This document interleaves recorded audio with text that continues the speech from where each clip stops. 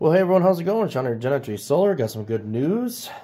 The next set of parts for our Genetry Solar 6,000 watt and 12,000 watt inverters have arrived. And uh, yeah, they look great. So these are the Mosboards, all assembled, professionally done. And boy, oh boy, do they look great. I mean, they really do.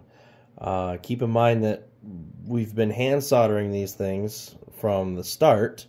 Now we finally have them all built up. They they made a jig for these so that uh, you know they would all be equal heights, and they are. I did take the calipers to them to make sure that wire holes will line up and things like that. But they look phenomenal. They really do. I'm very very happy with the quality of these boards here. The quality is absolutely amazing. So they did a great job with the soldering. They really did. So we're very, very happy about that.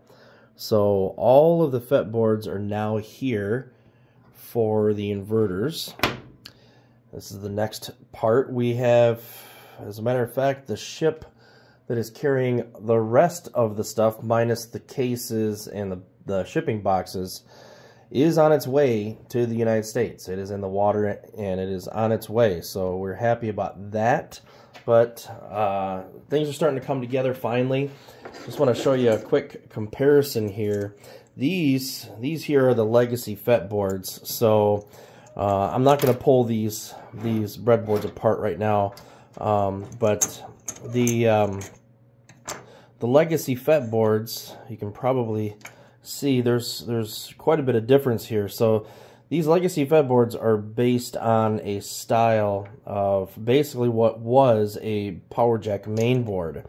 And of course we did everything with the new 6,000 watt inverters. We did everything from the ground up, completely custom design. And so you can clearly see there's there's a difference here.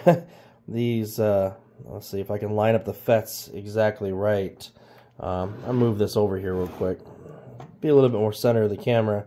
So I'm sure you can see there's a pretty big size difference there.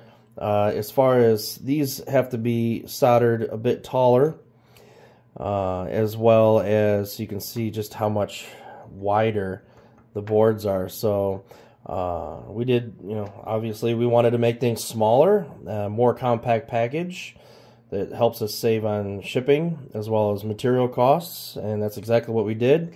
Um, these boards here, the legacy boards, have the same or very similar circuits to these boards here, so all of the protections that are here are in the legacy FET boards, but these obviously are not compatible with our new inverters, so that's why we call them legacy FET. So, pretty neat finally starting to come together. We've got all the buttons, we've got all the, the hall sensors, a few other things. So we're starting to get there. It's really starting to come together and we'll be able to start putting these inverters together here real soon. So I'm pretty excited. Can't wait. And as as always, if, if more parts come in, you know that I'm going to be uh, getting videos of them.